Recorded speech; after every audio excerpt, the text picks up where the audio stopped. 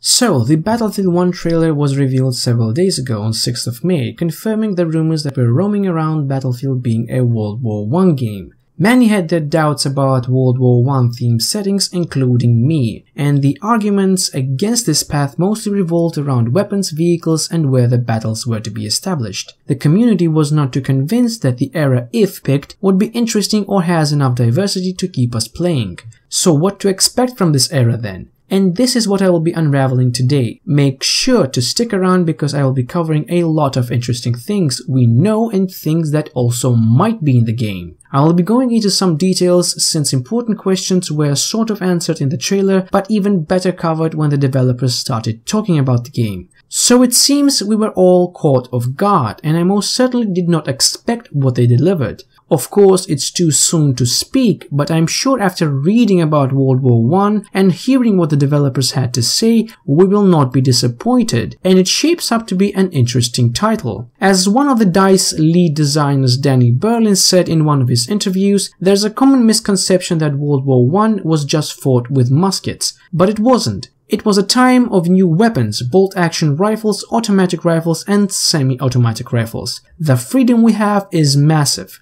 And I have to admit, after digging, there are a lot of interesting things that happened in World War I that did put the Brickstone foundation for future weaponry and warfare. And if you're wondering what locations we might be visiting, to cut corners short, World War I had many countries involved. The camp was split to two sides, the Allies and the Central Power. The Allies consist of some major players like the British Empire, United States, Russia, France, Italy and several others. And on the other side of the camp, the Central Power consisted of Germany, Austro-Hungarians, Bulgaria and Turkey. The list goes on with numerous more countries involved in the war, and I just won't be covering all of them. But the idea is that there's a lot of content and interesting places we might be visiting, including as seen in the trailer, some Middle Eastern locations. So, what locations and settings do we already know, and what fronts and battles will be fighting in? Well, we have some confirmed locations. France is an obvious one as also seen in the trailer. There are plenty of trenches and a good variety of terrain.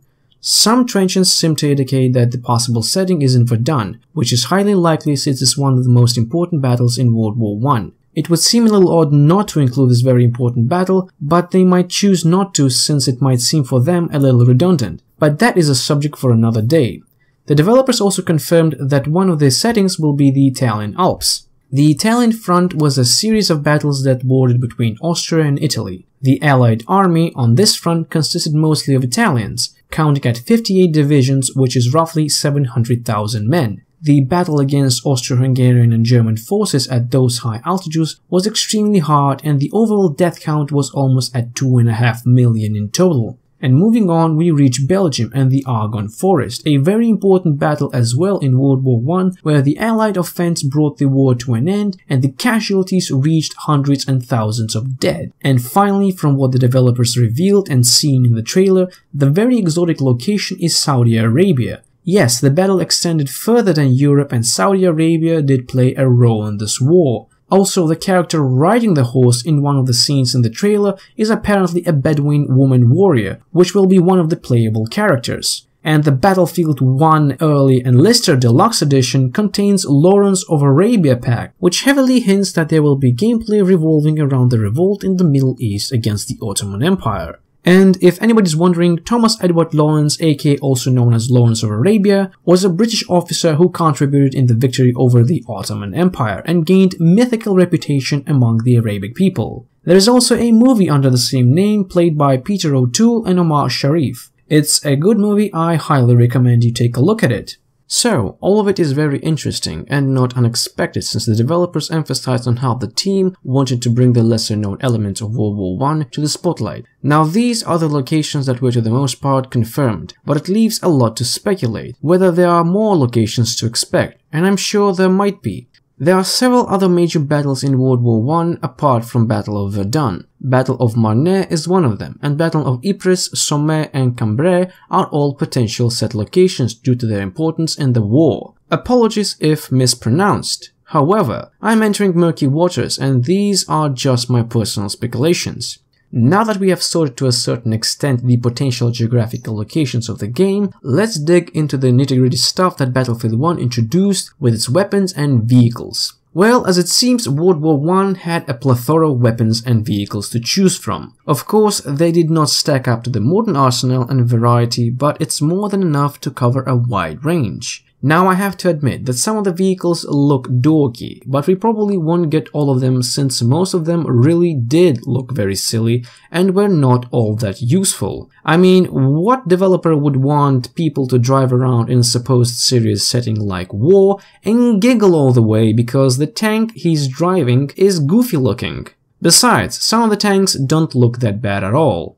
So, starting off, tanks will be split into classes, like heavy tank, light and medium, which indicates that you would need to choose whether you want a tank that goes fast but can get destroyed fairly easy or you want a much tougher one but more prone to be an easy target practice. Also, there will be two more classes added to the game and one removed. Engineer has been dropped and the two new classes are Tanker and Pilot. And judging by what senior producer Alex Grøndal said, the primary weapon of these classes would be their own vehicles, so there is a chance that you won't be able to hop in and out, and as a good captain you go down with the ship if you're killed. So no more abandoning a perfectly good vehicle for a sniper position. Now these classes might give us a good hint of what tanks might be in the game, since we already know that the British Mark tank and FT Renault are both confirmed.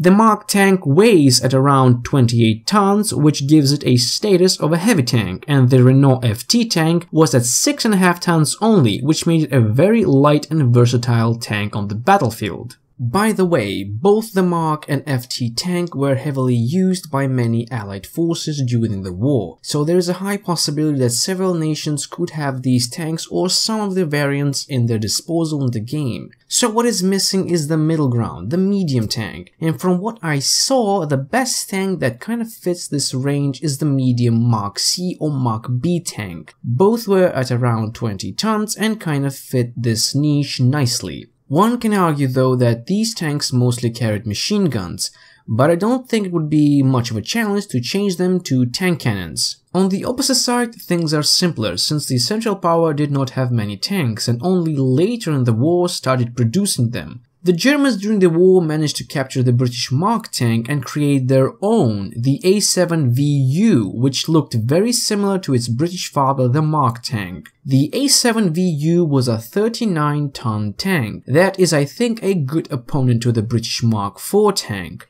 Moving on to the medium tank, the best tank that fits this role is a Sturmpanzerwagen Oberschlesien. I might be butchering the name, but it fits the medium tank range perfectly with its 90 ton weight and 16 km per hour speed. And finally going down the road we reach the light tank and this one might be the German LK2 tank that weighed almost exactly as the French Renault tank and had the same speed. However, it was released to the end of the war and did not gain much credit. An interesting side note, the Germans army by war's end was made up largely by captured British and French tank. The A7V German tank is confirmed as well, another very heavy tank that stacks up at 33 tons. Possibly this might be the rival of the British MK tank instead of the A7VU, although I don't know if this behemoth of a tank would be very interesting in the multiplayer. I mean, the tank is a big box, and finally, we reach the Jeeps that are also going to be in the game. As seen in one of the concept arts, the Jeep is none other than the Rolls-Royce armored car for the British force. And the only equivalent I could find that could match this car for the Central Power was the German Ehrhardt EV4. Again, my apologies if I mispronounced. Oh, and an interesting thing is that you also can ride horses in this game which is not very strange as World War I was at the dawn of modernization, so mixed warfare was still going on. An interesting sight to be seen charging into battle on horses against tanks. I'm sure there will be a lot of trolling and lols around this, so apparently now you can bring a horse to a tank fight. And for the final machine, the armored train as seen in the trailer is none other than the Orlik, a Russian armored train. Interesting to see if this will be in the multiplayer.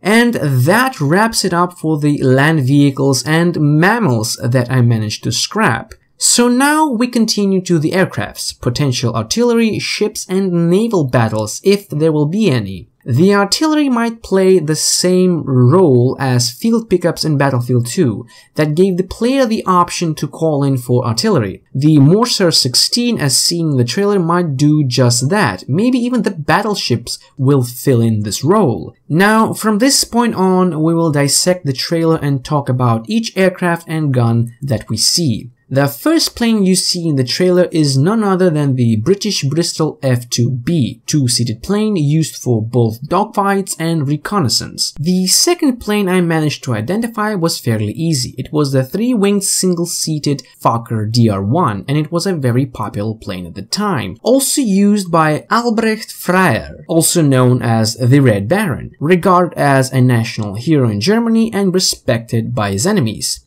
The plane in the concept art was the Sopwith Camel, a British fighter widely used at the time and credited with shooting down 1,294 enemy aircraft. Very difficult to use but offers superior maneuverability to an experienced pilot. And finally, we reach the Zeppelin in the trailer. Unfortunately, I don't know which model it is. There were several Zeppelin. The Zeppelin L32, L52, L10, and Zeppelin Z12 are just a couple I managed to find, and most of them were in use by the German Empire.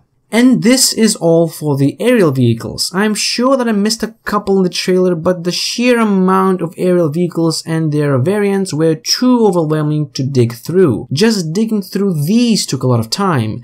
Besides, the video passes by so fast that it's extremely blurry and hard to identify them. Now, before we proceed to the weapons, a little talk about the classes that are going to be in the game and the changes that followed. As already mentioned, the engineer has been ditched and instead we got two new ones for vehicle use only. But for the infantry, we have the classic basic classes, the assault, medic, scout and support. The changes to the classes are that the assault class will no longer have the ability to revive like in Battlefield 3 and 4. This will be purely the medic's ability. The assault will take place of the engineer and will carry explosive, anti-tank mines and other weaponry, while the support class will keep his spot as the player with LMG and ammo crates. There is also a chance that the support class will call an artillery as previously hinted, but this is not fully confirmed. And last but not least, Sniper or Scout. This class will probably keep his identity as well without any changes. Now without further ado, let's step into the arsenal these classes might wield. Again, everything that I'm going to list is from the trailer, so to the most part it is confirmed.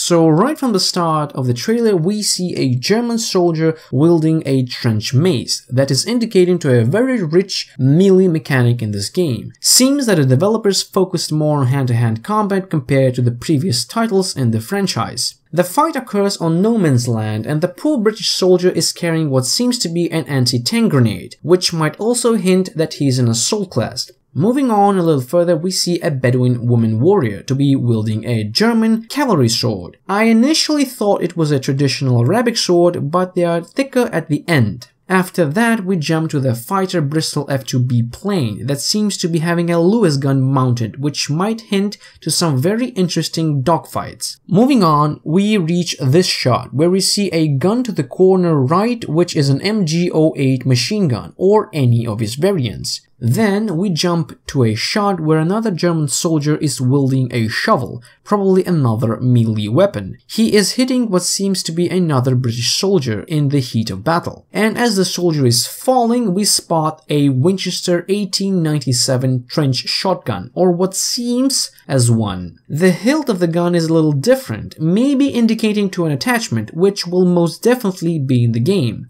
Also, if you pay attention, the German soldier looks to have crutches in his backpack. I'm guessing he's a medi-class. After that, we jump to the mentioned earlier Fokker DR1 plane with what seems to be another MG08, or some of its variants. It's hard to tell exactly what model it is, but I lean towards MG08 from all the pictures I gathered of DR1 planes. Then we jump to the soldier running beside the tank. This one was easy, it's a T. Gewehr anti-tank rifle. This gun kicks like a mule and probably held by an assault class, maybe it's a pickup like in Battlefield 4. My guess is as good as yours. Then we skip to the scene where we see a person firing a pistol and what it seems to be a 1911 pistol. The profile of the gun is very recognizable, so I lean towards it being 1911. After that, we jump to the forest map and the soldier seems to handle another Lewis gun. As it seems this gun was very versatile and used in many situations. My guess is this is a support class weapon since it's an LMG. And at the same time, we see mustard gas blowing in the background. Unfortunately, I could not tell what weapon it is to the left, it's too blurry for me to tell.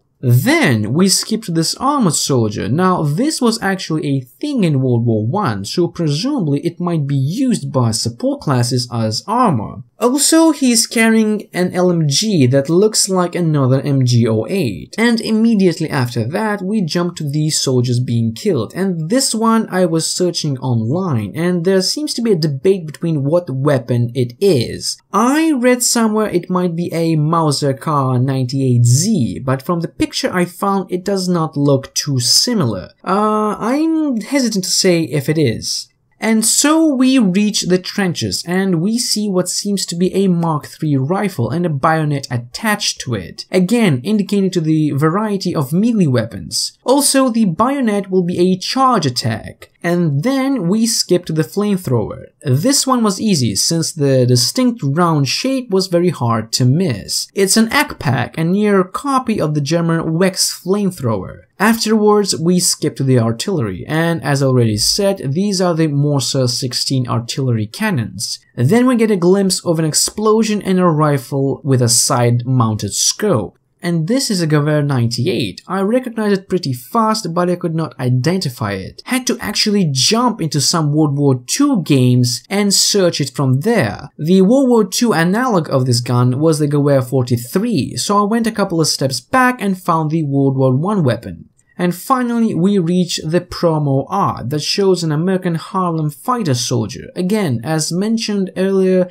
EA decided to focus on less known elements of World War I, and this certainly is one of them. The Harlem Hellfighters were an infantry unit in World War I who spent more time in combat than any other American unit. And the weapon this soldier is holding is none other than the Mauser C96, and on his side we see an MP18 SMG. And for the final subject I say that there will be a lot more destructibility than in the previous two Battlefield games. The developers did hear the community and they will probably return to the Bad Company 2 roots with the rich destruction mechanics. And this, ladies and gentlemen, pretty much wraps it up. Oh boy, this was a very long video. Unfortunately, I could not identify all of the planes and some of the weapons, and also this battleship as well. I did try my best, but I could not make out much. But anyway guys, I hope this video was informative to you as it was for me, and I will be leaving all the links in the description down below for you to check them out yourselves. I will also be leaving links where you can sign up for the open beta that will hopefully come out very soon. Anyway guys, thanks for watching if you managed to stay till the end. I hope you liked it, please share if you found this interesting. This has been your host, SAI Gaming, and guys, stay awesome.